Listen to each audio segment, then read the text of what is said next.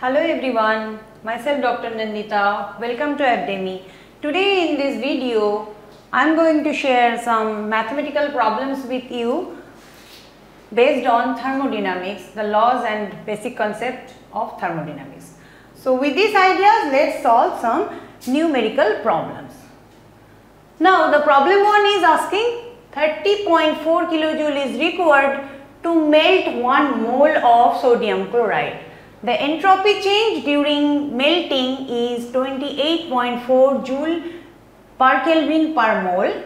Now they are asking to calculate the melting point of sodium chloride. Now let us see how can we solve this. So what we know here is that, so let us just first write what are given. So delta H fusion that is heat is required to melt 1 mole of sodium chloride is given. Delta H fusion for NaCl is given as 30.4 kilojoule per mole right. What else is given? The entropy change during melting is also given. So, delta S fusion is also given which is equal to 28.4 joule per Kelvin per mole right. So, what we know that delta G is equal to delta H minus T delta S right. So, because this is a phase change process right. So, what we know for a phase change delta G is equal to 0 right.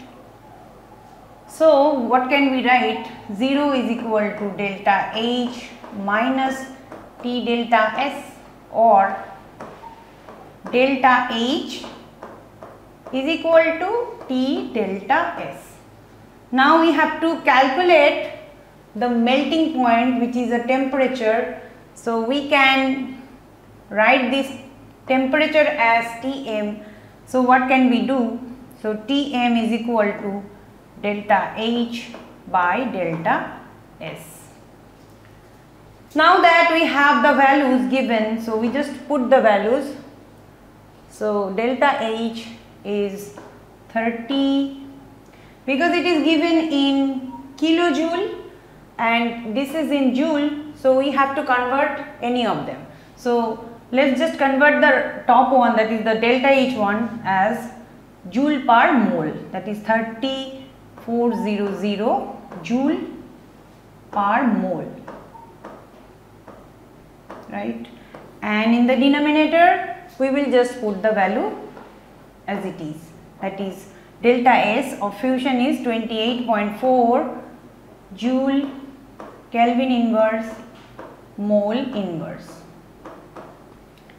So, joule will cancel out, mole inverse will cancel out and if you solve this will come out as 1070.4 Kelvin.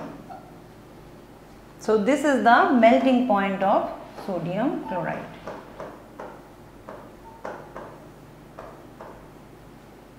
This is what they have asked.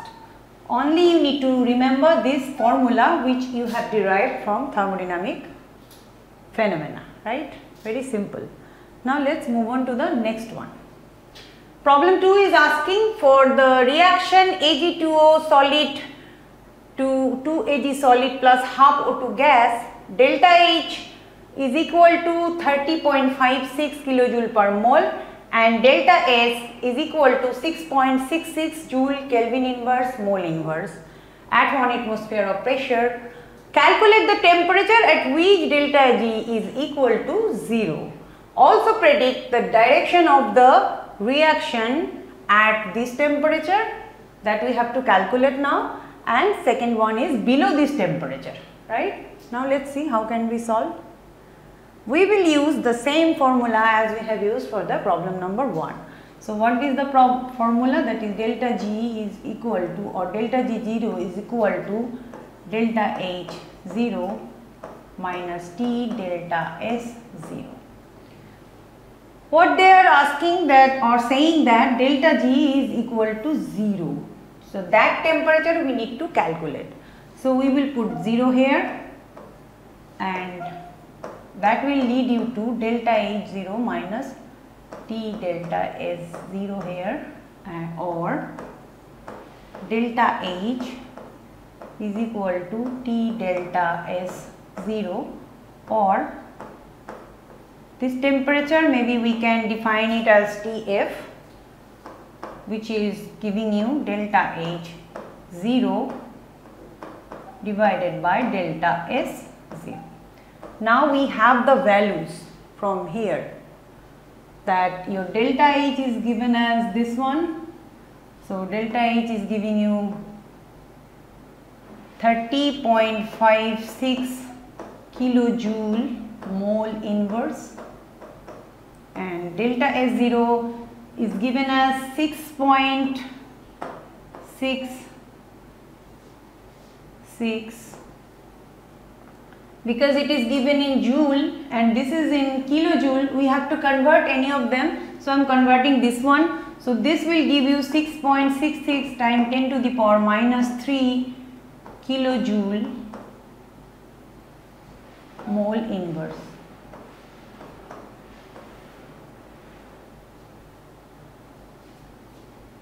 Kilojoule Kelvin inverse mole inverse right. Now if you calculate that your TF would come out as 4589 Kelvin if you calculate that. So this is the temp temperature where the delta G is equal to 0. So now we will answer number 1. So, at this temperature that means what we have calculated that is 4589 Kelvin. So, we have to predict the direction. So, because delta G is 0 this is nothing but an equilibrium process. So, at equilibrium we know that delta G 0 is equal to 0. So, this is the answer of the question 1. Now, Question 2 is below this temperature what will happen to the direction of the in which direction the reaction will proceed? That we need to answer. So, because delta G is 0, so what can we say? That below this temperature that is below TF is equal to 4589 Kelvin, delta G must be greater than 0 so, delta H must be greater than T delta S or delta H 0 must be greater than T delta S 0. Because delta Z 0 is greater than 0, the forward direction if the reaction will proceed then the process would be non-spontaneous. So, if the reaction goes in the forward direction this would be a non-spontaneous process. It will not happen spontaneously. Or you can say that the backward direction the reaction will be spontaneous or you can say that the reaction will follow the backward direction or the reaction will move to the backward direction because for in the forward direction because delta g is greater than delta z 0 is greater than 0 so, the forward reaction will not take place because it is non-spontaneous, but the reverse reaction would be spontaneous and the reaction will go in the backward direction. In the backward direction, the reaction would be spontaneous. This is the answer of the question number 2 that below this temperature the backward direction uh, backward reaction would be spontaneous. Very simple. Now let's move on to the final one. That is problem number 3 what is the equilibrium constant? K equilibrium for the following reaction at 400 kelvin. The reaction is given as 2 NaCl is giving you 2 NO plus Cl2 and uh, the given informations are delta H0 is equal to 77.2 kilojoule per mole and delta S 0 is equal to 122 joule per Kelvin inverse mole inverse or 122 joule Kelvin inverse mole, mole inverse right. Now you need to remember the formula only. So what can we write is K equilibrium is equal to minus 2.303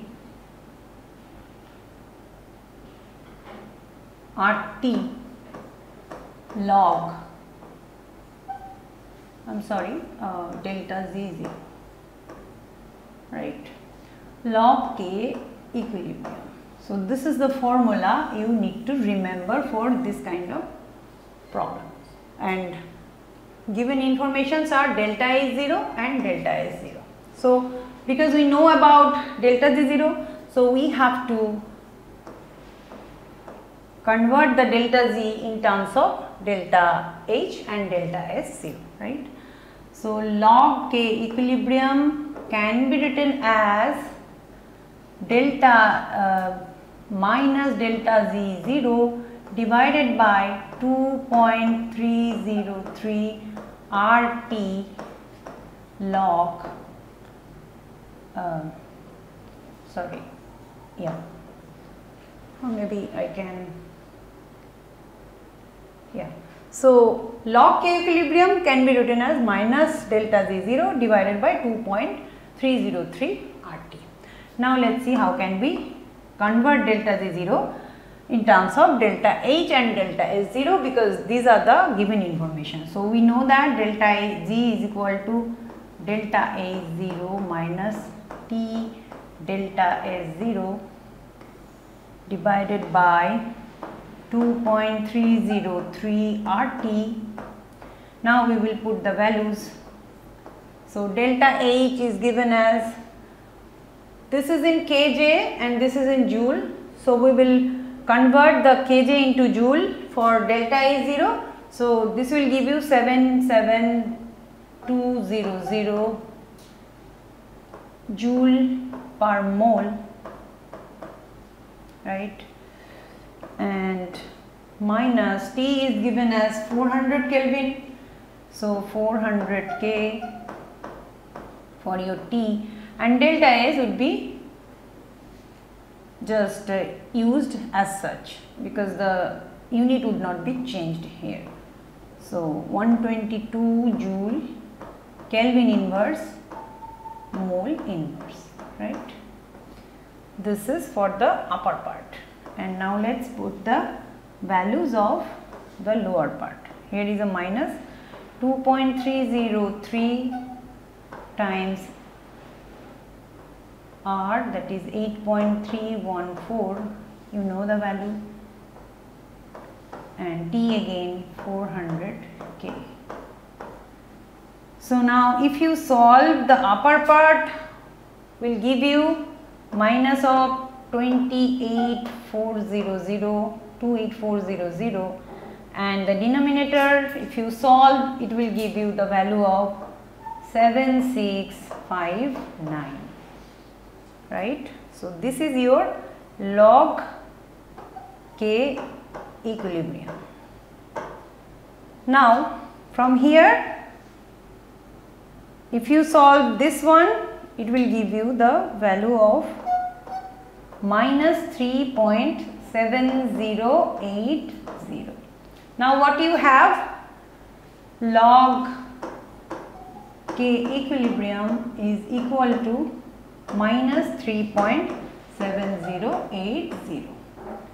So now if you write down for K equilibrium it will give you e to the power minus that is anti-log e to the power minus 3.7080 and now if you solve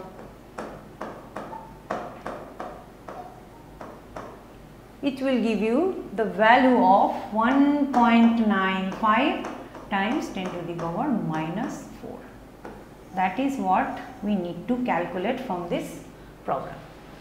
Very simple just few uh, formulas that you need to keep in mind and so you will and you need to carefully change the units properly so that every um, given information are having the same uh, unit either in CGS or in SI and that uh, after that if you calculate properly you will get the result the correct result right.